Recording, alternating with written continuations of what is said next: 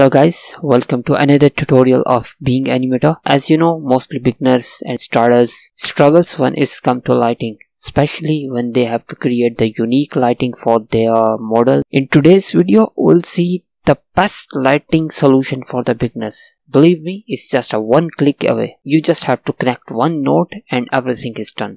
For that, you'll have to go to this website ieslibrary.com. I'll put that that link in the description. That is a collection of real world lighting. You can filter out with the help of manufacturers. Like if i select visa lighting that will only show that manufacturer. There are more filter also that allow us to search smartly.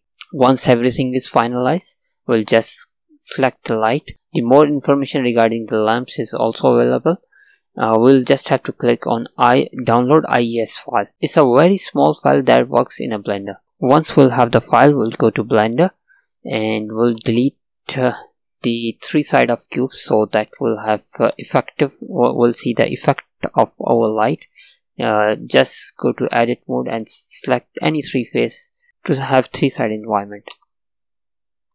Next we'll go and select the render properties and change the render engine to the cycles. Unfortunately is lighting only work in cycles now we'll just have to bring the node editor. For that we'll bring our mouse to the corner and change that to the node editor also known as shader editor.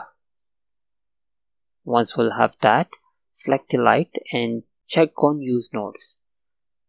The two nodes will be appear there will be a output light and the emission. Will add another node uh, that is called IES we'll just set the IES textures select the IES textures and bring it to here.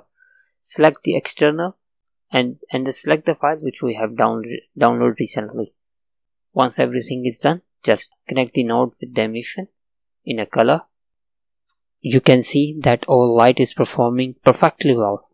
We still have option to connect the vectors or uh, or add other nodes in a strength that means we can still control the other stuff within the IES light.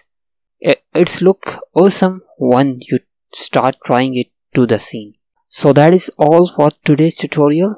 Don't forget to hit the like button if, if that video, that tutorials teach you something new. Thanks for watching. See you in the next video.